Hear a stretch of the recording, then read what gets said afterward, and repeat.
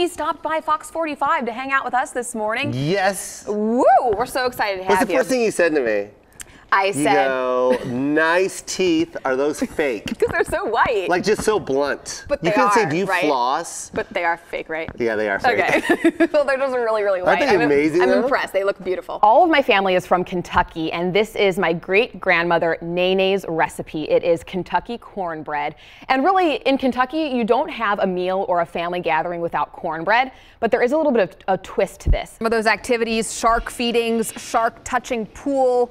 And Scott, if you can hear me in there, you're a marine biologist. Uh, you're surrounded by tons of sharks right now. Please tell me what it's like to be in there. One of the exhibits is the penguin exhibit, and we actually have Pepper the penguin here with us live on our patio this morning.